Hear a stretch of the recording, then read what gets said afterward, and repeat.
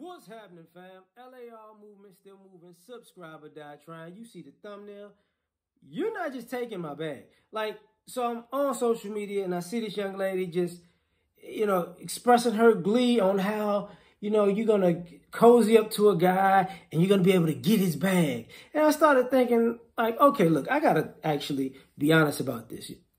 For you ladies, uh, who just for some odd reason think it's it makes absolute sense for you to meet a guy that you don't know, that you're a stranger to, and have a and, and believe that you you're gonna be with him long enough that you you come before everything he's worked for prior to you, cause so you can get his bag. He's gonna hit you with the scorpion. Get over here. Like, no, you can't just take my bag partner? Like, what are you doing? What what made you think? So you mean to tell me, you know?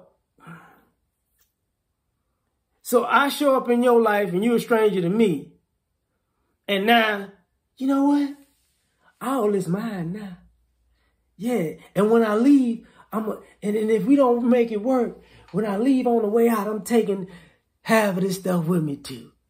Yeah, yeah, yeah, yeah, yeah. That's how it's gonna work. Because I, no matter how good or bad this person is, you know, they gonna owe me for being with them at some point, and they got to pay me for my time wasted. Wait a minute. You're not just gonna take my bag, player, because who said? Let's calculate who's been wasting whose time. It's not an automatic, I know it's an automatic assumption that, you know, I'm wasting your time because you as a woman can, you know, you need that time to get somebody to, to settle down with who will actually um, take care of you for a lifetime or for a significant period of time if you're married or in a long, long-term relationship, right? But here's the issue with that. Y'all ain't, first of all, y'all ain't trying to get married. Y'all ain't trying to be in these long-term relationships. Y'all just trying to stick in long enough to take something that's not yours, but when it's time to go. And that's the people who I'm talking to right now. You're not just taking my bag. Like, see, divorces and child support really got y'all messed up where y'all think, oh, you know what, and, and if you marry him, you could get some of his retirement, and uh, yeah, take his bag, yeah, that's sweet, honey. But then you turn around here, you a boss. You an independent woman.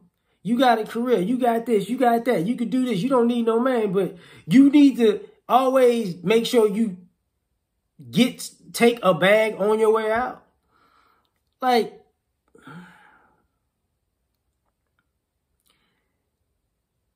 the sheer narcissistic, psychopathic selfishness of this and, and, being so comfortable with it, it's like, oh, we got problems. Because at the end of the day, what you're basically telling people is you, you as a human being,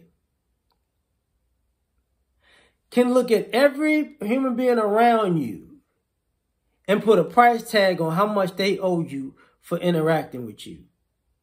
And this price doesn't, this price changes per person.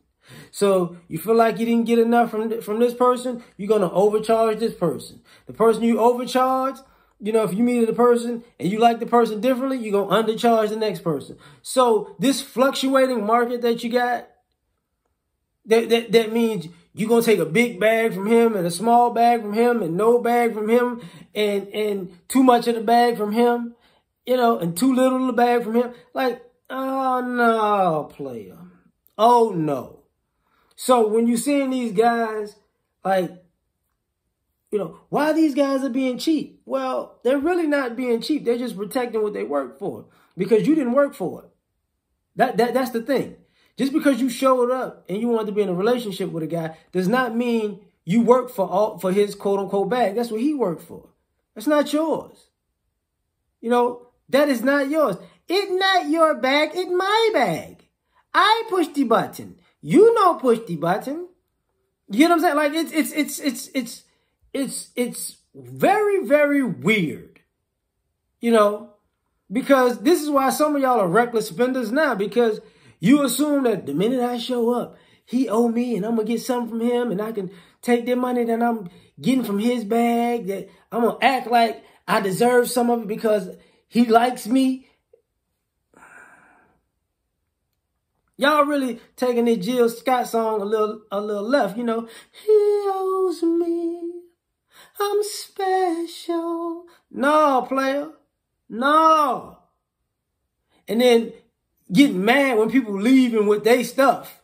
You know you gonna be that. You gonna give me your stuff. Get over here. That's how it's going. And then you mad that people want to prenup you.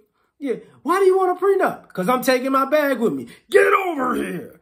What the hell? But we gonna have, why you think people are getting together as we're older and we're, we're like, I, I don't want no kids. You don't want no kids. See, now we can get together because I already got kids. You already got kids. And you're not gonna just get with me to, to, for the kid situation to get a bag later. No, no, no, no, no, no, no. Get your own. You don't see me yanking for yours. You know, you remember, we, this is equality, baby. You know, it's equality. Anyway, like, share, subscribe, and die trying peace.